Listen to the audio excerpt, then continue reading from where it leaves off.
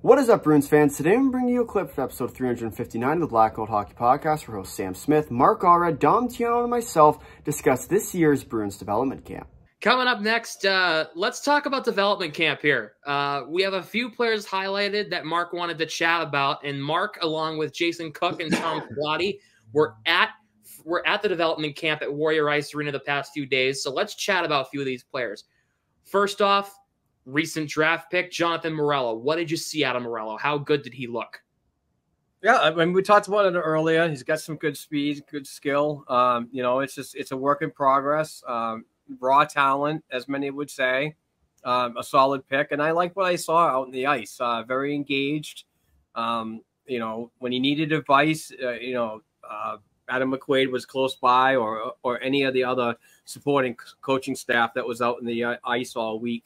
Um, development camp was a four day uh, um, event this year, held at the Warrior Ice Arena. Um, and yeah, I mean, I thought it was, uh, I thought he, he did good along with uh, several other prospects. Um, uh, this was a much better development camp than I than I anticipated because of the fact is that we were kind of wondering if we were going to get back into the first round or not. But I think that the the players that were invited uh, did a decent job and um, and put a good show on for the fans that were in attendance.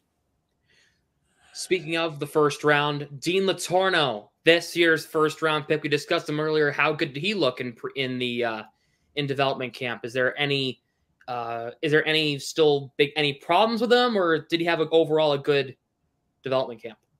I, I want to say Oskar Jellvik uh, put him over his ass um, and hit him pretty hard, and knocked him right off. Um, so there's there's some things that he needs to work on. Uh, you know, he's a young kid uh, coming into camp uh, for the first time, um, in, in Boston pretty much for the first time. So there's a lot of work things that he could work on too. And, and stability, agility, and, and strength uh, is one of the biggest things that I noticed. But if you look besides all of that, when he does have the puck, he's very creative for a big man. Uh, and he has a really decent shot, and he, you know, he really leans into a, a wrister it puts a lot of that weight behind him to get off a, a really good shot. Yeah. Uh, Jackson Edward, you highlighted him, drafted in 2022. Looks like he'll be with either Maine or Providence next year. What's Jackson Edward? How did how did he do?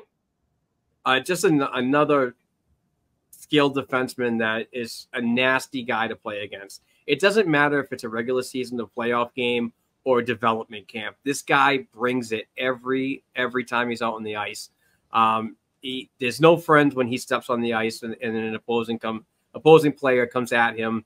Um, just just a nasty guy. And Adam McQuaid talked about him a lot this week about how much more how much he's getting better and his track is getting you know a lot better than what they thought it would be.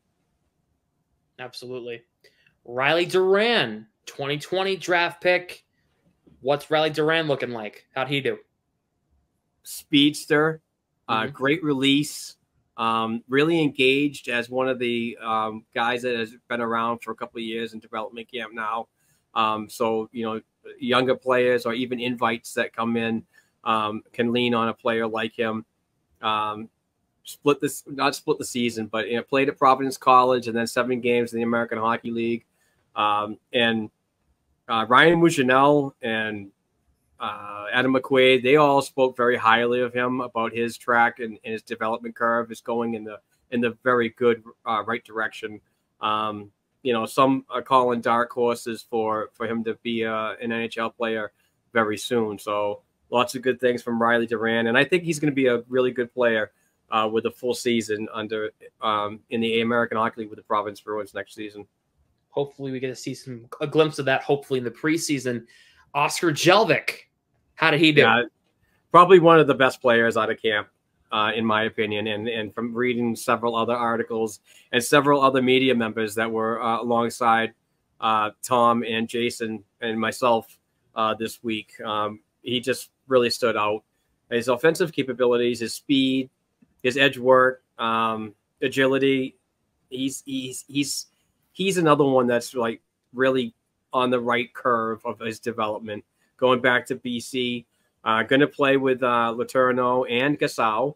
Uh, so I'm not pro, not sure if it's going to be on the same line due to left shot, right shot, but they'll be on the same uh, team and uh, moving forward together. So that's uh, something to look forward to at Boston College next year.